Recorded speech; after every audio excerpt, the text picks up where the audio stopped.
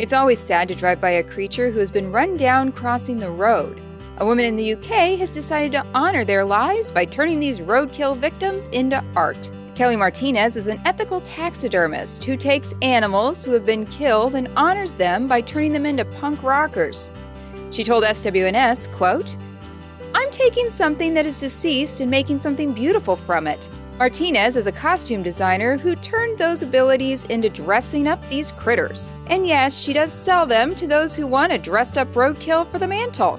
She makes these creatures custom costumes to give them personalities she dreamed up for them. If you can believe it, Martinez believes that her 17th century property, where she honors the lives of dead rodents, is actually haunted. And she says she would continue her taxidermy even if she never sold another one, saying, quote, And I do it for nothing because it's my way of honoring a life and making something beautiful from it.